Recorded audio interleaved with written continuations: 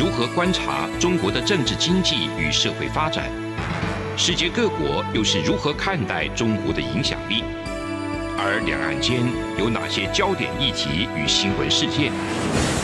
深入解析，多面向的透视中国。欢迎收听《这样看中国》。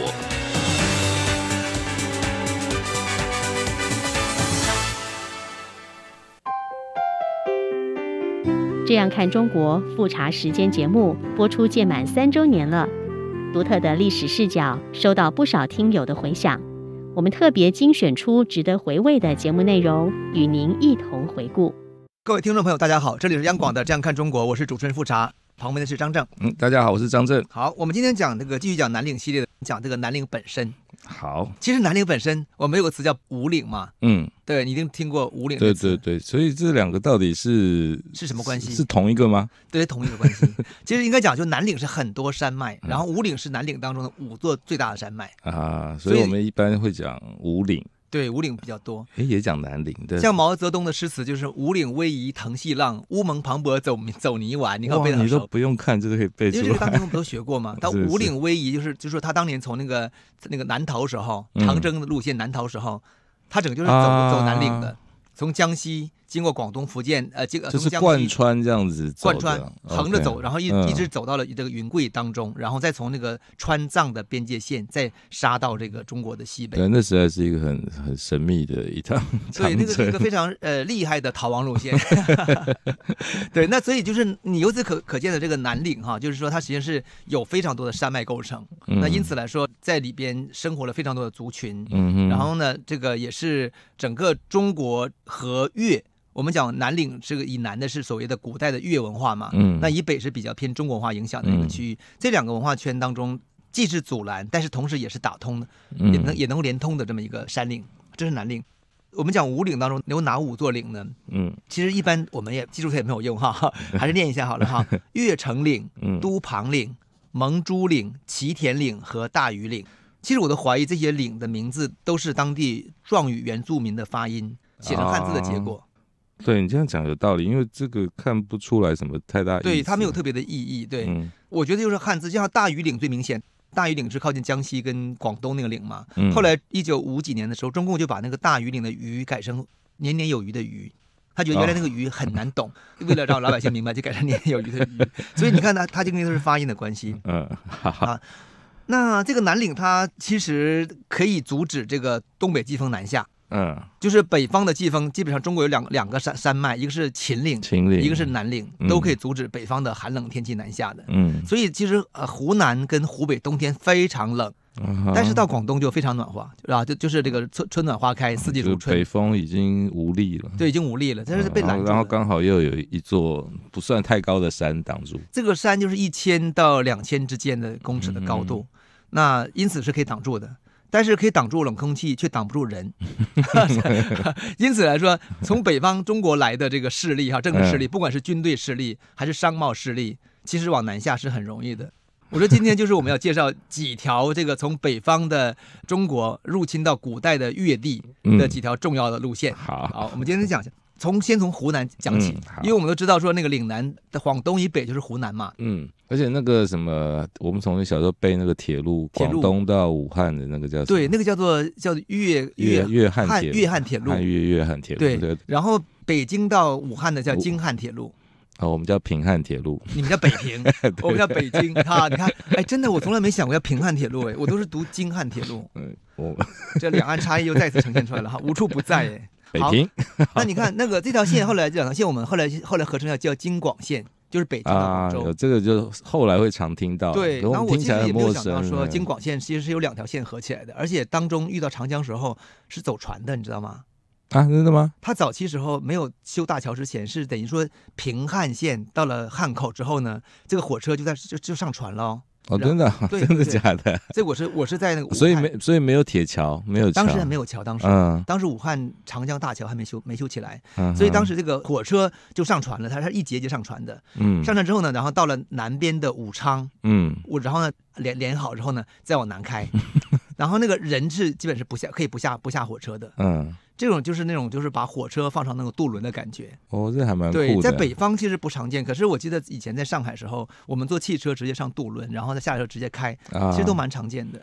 汽车上渡轮可以理解，对，火车上渡轮这难以解释。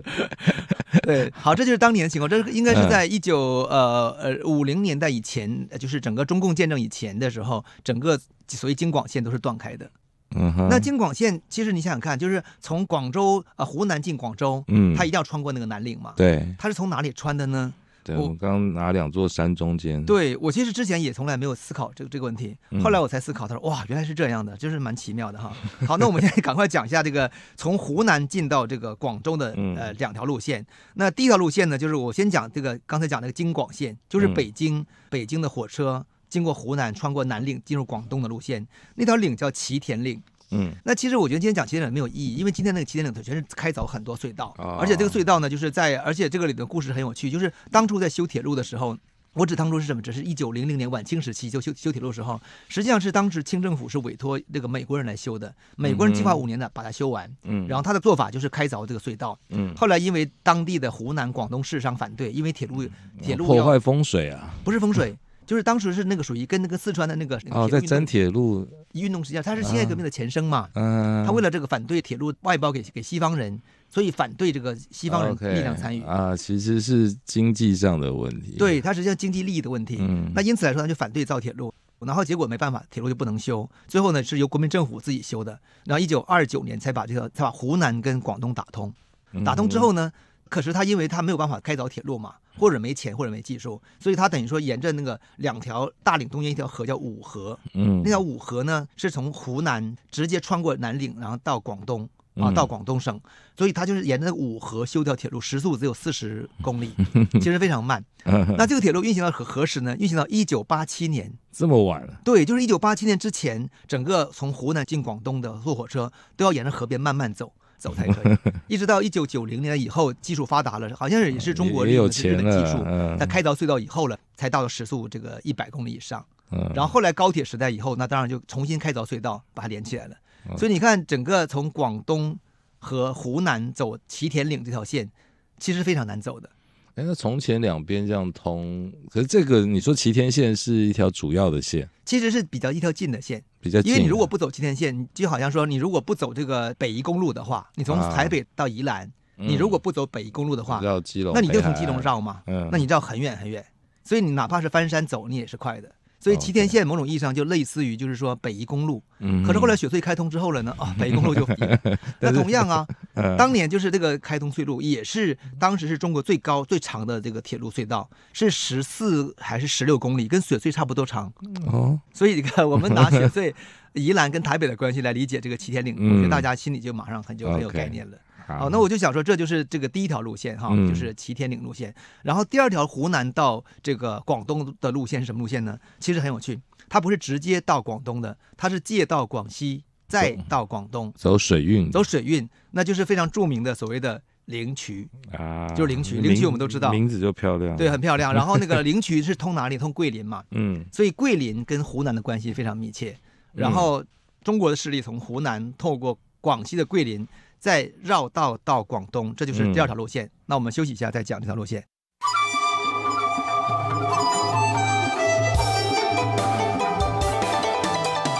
无限的爱向全世界传开，永恒的关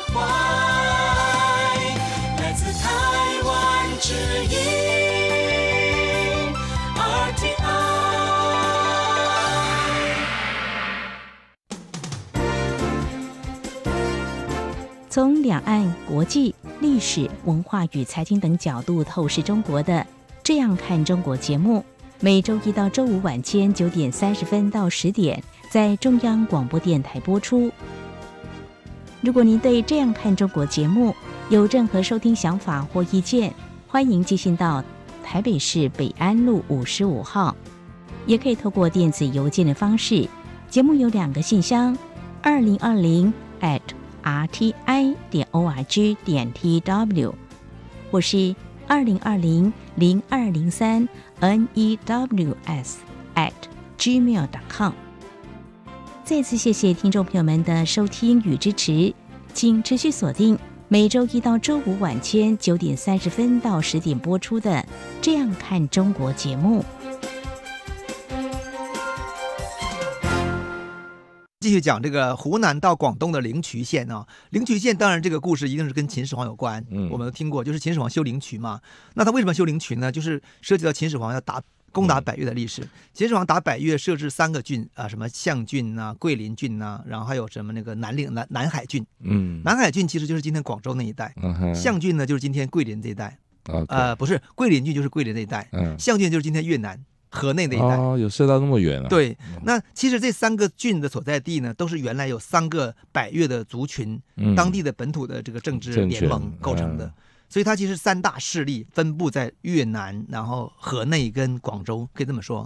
那么秦始皇呢，就把它全部因为这些势力本来是 backup 那个楚的，呃，早期跟楚人文化、百越的文化其实关系都非常密切，嗯语言也非常接近。所以楚跟越，哈，这个越是越南的越，嗯就是百越的越，其实都非常的接近。嗯，所以要要消灭完，不然他要亡秦三户，对他，对，已经把楚国打败之后，才能嗯借到湖南那条那条路线，对，把后面都。清光，免得再反叛，没错，但是没有用。没成功哈。好，那我们就讲是说，从那个秦始皇修灵渠，他他他的目的就是要把这个湖南的一条河叫湘水或湘江，嗯然后跟这个桂林的一条河叫漓江，嗯。啊，漓江也叫桂江，把它两条连起来。那这修的灵渠，其实那个中间你会看那个地理环境，我嗯。我一看。我一看哇，我觉得那个灵渠所在那个地理环境，两条岭中间那个岭叫做、叫做都越城岭跟、啊岳城岭和都庞岭，跟都庞岭，对，嗯。这个两两个岭中间的那个宽度哈，嗯。其实就算最窄的地方都比花东纵谷宽，嗯哼，所以你所以很宽嘛，很宽，所以你会想到花东纵谷其实很难防守，对不对？就是如果假如说是那个花莲人要打这个台东的话，啊，台东是很难在花东纵谷防守的，嗯，为为什么？因为它很宽，它啊宽的话就是除非你是设置啊非常太太多的这个宽了，军事壁垒是吧？对。啊，不能守隘口这样。，对，不是一个很小的一夫当关万夫莫开的隘口，所以你会想到说，那个如果中国的力量透过这个所谓这个灵渠，就是两个岭中间的这个谷地、嗯。去那个打这个百越的话，其实是很难守住的。更何况百越当时它也不是一个中央集权的一个官僚体系，它是松散的部落联盟，嗯，所以基本上来说，它是很难在政治上被整合起来的。嗯，因此很容易就被被打败。但即便如此，其实也出现非常多可歌可泣的反抗故事哈。真的吗？对，非常多。就在啊桂林那一带有有一个有名的一个叫做西欧王嘛，呃，嗯来反抗，呃，也是因为反抗抵制很厉害。后来秦始皇发现说，他的这个后备的粮草的补助是不行的，嗯，他必须要要修灵渠，然后呢，把这个粮草哦尽快的运过来。这样会不会太慢了？哎，他所以灵渠就修了六七年嘛。嗯所以秦始皇这个攻打百越也是前后打两次，第二次修完灵渠以后了，才才真正的把百越彻底的补给啊，这个对。我说彻底的征服，其实确实是非常不准确的，只是说他确实是征服了上帝的这个上层的的首领，嗯，然后在当地设置了中国的郡县化制度。可是下面就是那个郡，那个桂林郡哈，嗯可能在那个城市的中间有一些驻兵跟官员。嗯其实我一离开那个城市周围，全部是百越的汪洋大海，所以我会觉得，其实那个，所以秦朝对于百越的管理。其实我觉得，今天从中国史的角度说啊，我们是控制了这个南方的这个这个嗯岭南地地带，事实上其实真的不是真的纳入管理，只是名义上有几个战略据点而已。嗯，这也是秦朝，你看这个很快，他打完百越之后，不到几年，秦始皇一死，整个就瓦解掉了。瓦解掉以后呢，反而是在南岭地区成立的政权，比中原地区所形成的新政权还早，也就是南汉国。比这个西汉国建国还早一年，那刘邦还没建还没建国的，人家南人家南 南越国已经建本国了。来就是一个完整的独立的，，对，它是一个完整的独立地带，所以原来的驻兵很快就自立建国了。嗯，我觉得这就是这两个通道哈，就是灵渠通道，看起来似乎是可以把中国的力量很快的，就是透过通道哎，所以灵渠现在那个运河还可以还可以 work 吗？现在还在运河，现还在运行，但是现在它主要是在观光作为观光。对，那边就是桂林山水的那个甲天下甲天下的地方嘛。，对，其实如果你从那个我们现在常讲桂林山水山水甲天下，阳朔山水甲桂林嗯啊，可是你如果往那个灵渠往那个湖南走啊，嗯，就是是到了永州那个地方，其实那个地方的山水跟桂林很像，都是同样地形，他们是同一种地地带，嗯也是那种一座山孤立的感觉，对，很漂亮。那个永州就是那个，如果我们读过这个《天龙》呃《天龙八部》笑傲江湖》里边的那个莫大先生，有有记有印象吗？他就是有弹那个胡琴，叫叫潇湘夜雨。啊那种胡琴潇湘夜雨听过听过吧？哈，那潇湘夜雨为什么叫潇湘？就是潇水跟湘水汇合的地方就在永州，啊？所以呢，当那个莫大先生就在那弹潇湘夜雨》，再再往上走就到了衡阳啊，就衡山，南岳衡山。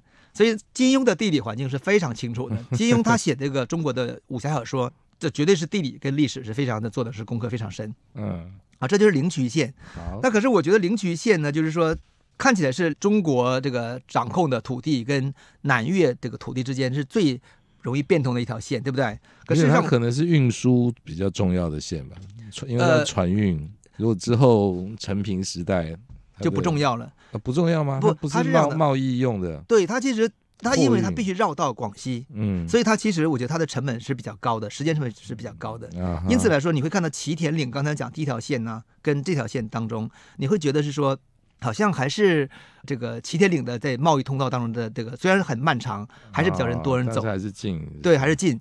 也就是说，你如果去广西做贸易，去桂林做贸易，当然是 OK 的了。可是你要到广东来说，所以很多人还是选择这个祁田岭的走这条线。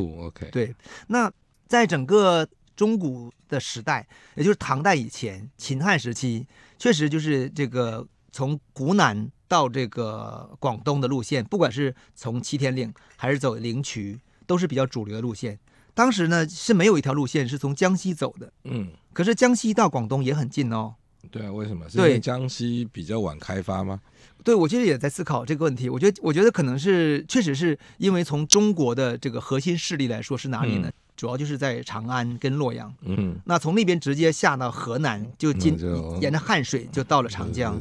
从长江透过湘江，就直接沿着就进入湖南，嗯，所以他从那边走到往岭南是很快的。比较快。他从广西走的话，他等于说要再往东边走。嗯，那我觉得那个地方可能是从当时的从秦汉之前之当时的逻辑当中，确实就是比较更荒凉的地方。所以可能要等到长江下游发达之后，对，我觉得是这道理。等长江下的吴越这个国家都已经崛起之后了，然后经济繁华之后了，那江西才会在作为中间地带才会起来。其实今天你看江西的经济也都一样啊，它不如湖南、湖北发达，它也不如如下面的南京跟江浙发达，嗯它还是中间地带，尴尬。很尴尬。我我推测就是说，在上古时期跟中古时期，江西其实也扮演这个角色，嗯，尤其是所以湖南从湖南进入广东或绕到广西进入广东，是其实是一直是很所以你们共产党就躲在躲在赣南。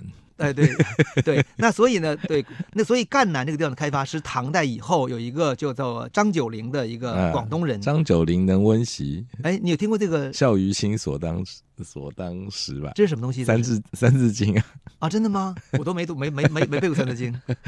对我哎，那个张九龄应该就是这这就唐代个张九龄唐代。宰相张九龄，我们小时候读，你也搞不清楚是谁哈就是张九龄这名字听起来还蛮蛮熟的。但是我们如果读过那首诗《海上生明月》，啊啊这也是他的，是他写的啊。OK OK，啊，非常有名的一首唐诗。所以这个张九龄呢，他就是广东人。嗯那他作为广东人来说呢，他就是主持开发了从广东到江西的一条路线嗯啊，就是我们我们后面讲那个这个梅岭、嗯梅岭或者大余岭这条路线。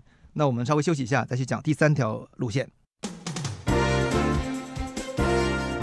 从两岸、国际、历史文化与财经等角度透视中国的《这样看中国》节目，每周一到周五晚间九点三十分到十点在中央广播电台播出。如果您对《这样看中国》节目有任何收听想法或意见，欢迎寄信到台北市北安路五十五号，也可以透过电子邮件的方式。节目有两个信箱：二零二零 at r t i 点 o r g 点 t w，或是二零二零零二零三 n e w s at gmail dot com。再次谢谢听众朋友们的收听与支持，请持续锁定每周一到周五晚间九点三十分到十点播出的《这样看中国》节目。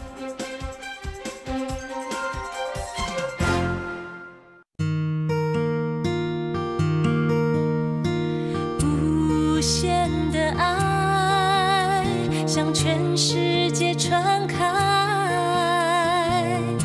永恒的关怀来自台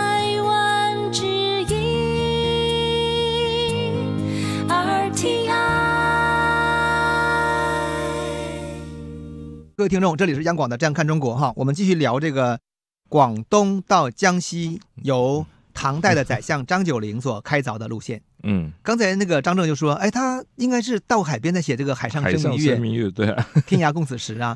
对，我们在我们背唐诗的时候，我们没有在想这个问题哈其。实我们好像蛮少唐诗里面有写到海海的嘛，因为都就还是没有没有认真没有认真去算了。不过刚刚这样确实，整个唐诗意象当中，特别海洋意象是非常少的。对，嗯那大漠的意象或者是什么那个呃，个个风吹草低见牛羊，这这是哪哪里找的？这是南北朝的。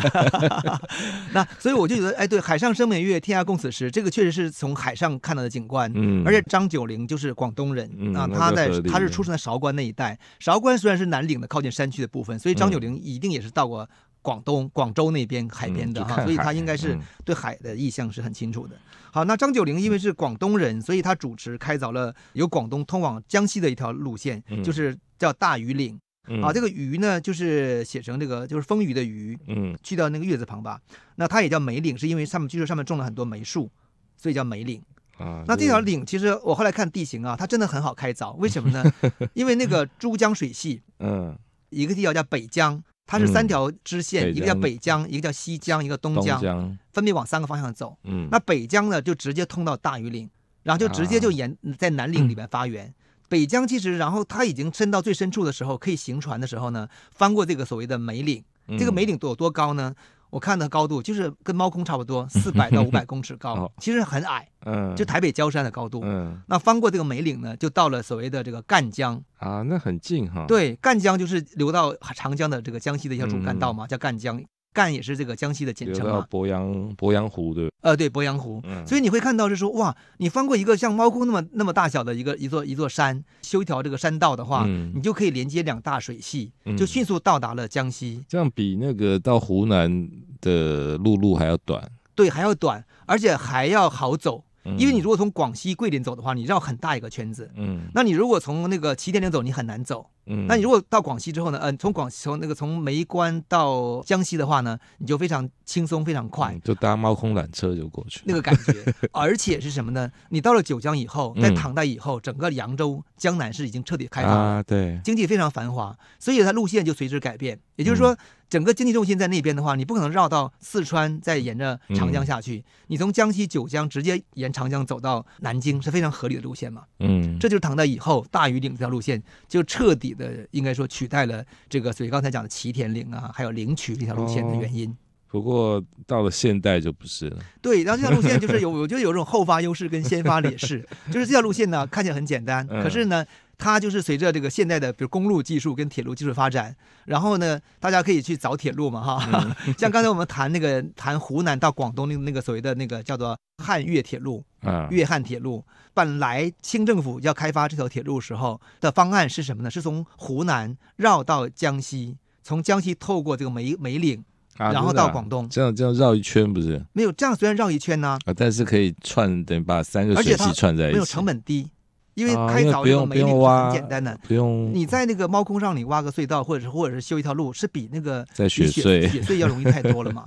所以它这个方案是很合理的啊。嗯而且湖南的株洲到江西赣州，其实有中间有条路是很近的。嗯它其实是说一定是绕路，可是它也划算。嗯，对，但是当时就是湖南乡绅就反对，说不行，这样我们湖南的利益在哪里？我们湖南南部 好像那一带我们要有铁路，所以后来就被迫就是呃这个，因为湖南乡绅有钱嘛，嗯，然后江西乡绅力量比较弱嘛，所以没办法，最后就变成。政政治决定路线，对，这就是湖南的立法委员很厉害，打败江西立法委员的概念。哎，所以江西到广东现在一直都还没铁路，还是已经有了？错，对，这条铁路一一直到什么？一直到两千年之前都没铁路哦。真的啊？对，后来呢怎么办呢？就是后来就是中国开发一条叫新的路线，叫京九线，你有听过吗？哎呦，就北京到九龙，其实也是到香港、就广州那一带。嗯它这条线呢，就完全避开原来的这个京广线，啊，所以两条平行的线，两条将将近平行，然后这条线全部全部走江西呀、然后那个嗯安徽安徽偏僻的啊山区里边，就像台湾的那个二高一样，第二对高高速公路，对，跟二高一样的原理。